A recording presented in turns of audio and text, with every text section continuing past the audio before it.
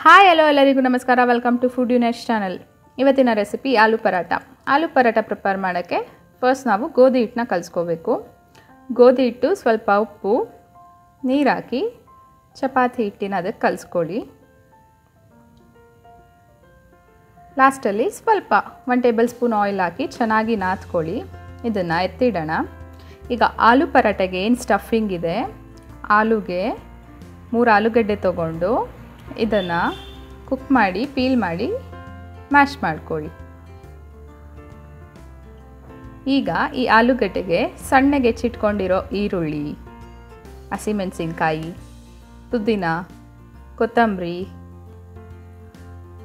ಮತ್ತು ಸ್ವಲ್ಪ ಶುಂಠಿ ತುರಿನ ಹಾಕ್ತಾ ಇದ್ದೀನಿ. ಓಂಕಾಳು, ಉಪ್ಪು, ಗರಂ ಮಸಾಲ ಜೀರಾ ಪೌಡರ್ ಮತ್ತು ಖಾರದ ಪುಡಿ. ಇದಿಷ್ಟು ಹಾಕಿ ಚೆನ್ನಾಗಿ ಮಿಕ್ಸ್ ಮಾಡಿ. ಮಿಕ್ಸ್ ಮಾಡಿ ಇದನ್ನು ಉಂಡೆಗಳಾಗಿ ಮಾಡ್ಕೊಳ್ಳೋಣ ಈಗ.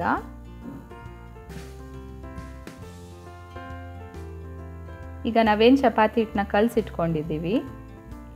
ಅದನ್ನು ಸ್ವಲ್ಪ ಹೀಗೆ ರೋಲ್ ಮಾಡ್ಕೊಳ್ಳೋಣ.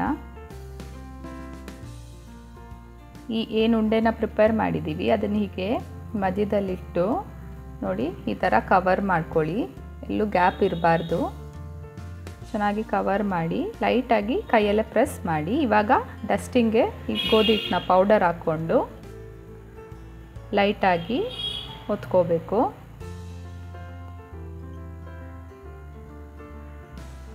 ತುಂಬ ಹಾರ್ಡಾಗಿ ಪ್ರೆಸ್ ಮಾಡೋಕ್ಕೆ ಹೋಗಬೇಡಿ. ಆಲೂಗಡ್ಡೆ ಎಲ್ಲ ಮನೆಗೆ ಅಂಟ್ಕೊಬಿಡುತ್ತೆ, ಆಮೇಲೆ ಇದು ಬರಲ್ಲ. ನೋಡಿ ಲೈಟಾಗಿ ಟ್ಯಾಪ್ ಮಾಡ್ಕೊಳ್ಳಿ ಈ ಥರ ಮಾಡಿಕೊಂಡು. ಈಗ ಪ್ಯಾನಲ್ಲಿ ಫ್ರೈ ಮಾಡ್ಕೊಳ್ಳೋಣ. ನೋಡಿ, ಎರಡು ಕಡೆನೂ ಚೆನ್ನಾಗಿ ಸುಟ್ಕೊಳ್ಳೋಣ. ಸ್ವಲ್ಪ ಆಯಿಲ್ ಹಾಕಿ.